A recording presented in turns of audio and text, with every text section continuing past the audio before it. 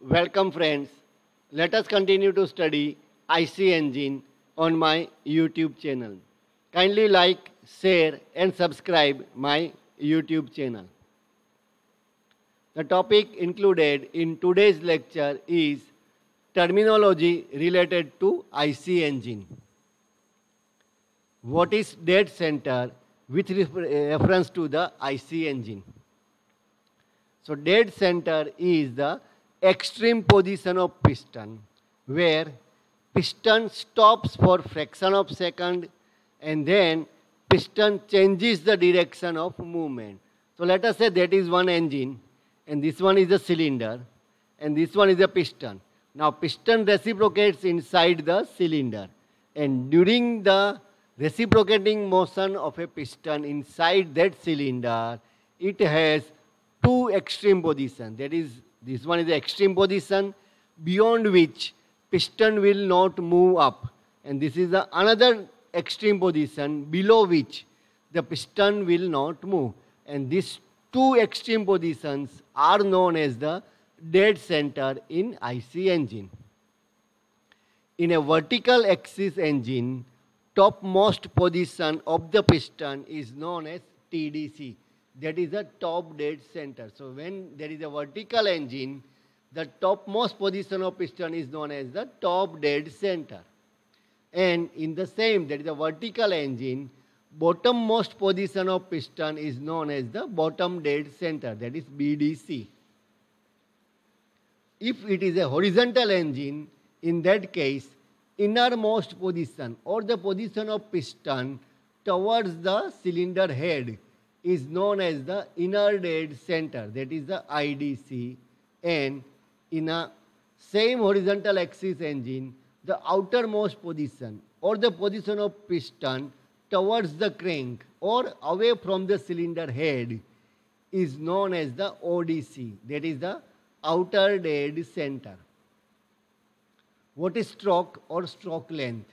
And it is denoted by capital L distance traveled by piston from one dead center to another dead center is called stroke or it is known as the stroke length. So stroke is equals to distance traveled from TDC to BDC or BDC to TDC for vertical engine or you can say distance traveled by piston from ODC to IDC or IDC to ODC for vertical engine. And that is known as the stroke or stroke length. And it is denoted by the symbol capital L. Stroke length can be calculated using the equation 2 multiplied by crank radius. And the crank radius is denoted by the symbol RC. So let us see. This one is the vertical engine and this is the extreme or that is the topmost position of piston and it is said as a top dead center. Now and this is the bottommost position of piston that is the bottom dead center and the distance between the top dead center and bottom dead center is known as the stroke or stroke length denoted by the symbol capital N.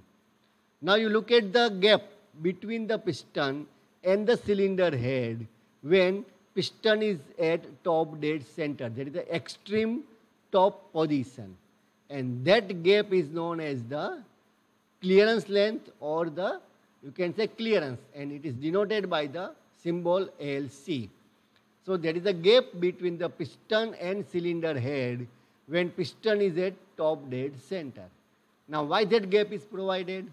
The gap is provided so that the valves that is inlet valve and exhaust valve can open easily and there is no direct collision between piston and cylinder head or piston and valve because piston is reciprocating at, a, at very high speed.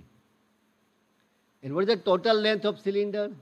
Now total length of the cylinder is equals to summation of stroke length and clearance length.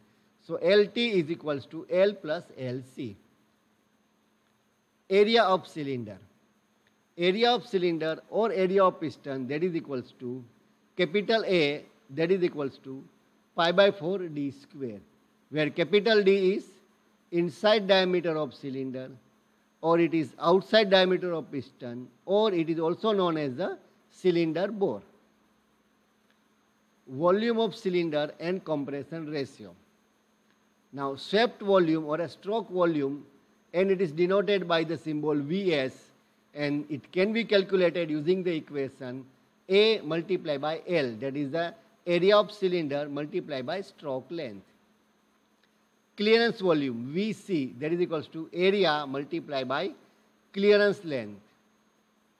And the total volume of cylinder VT is equals to Vs plus Vc. And the compression ratio R is equals to total volume of cylinder divided by clearance volume that is Vt by Vc. Kindly ask your queries in the comment box. Kindly like, share and subscribe my YouTube channel. Thank you.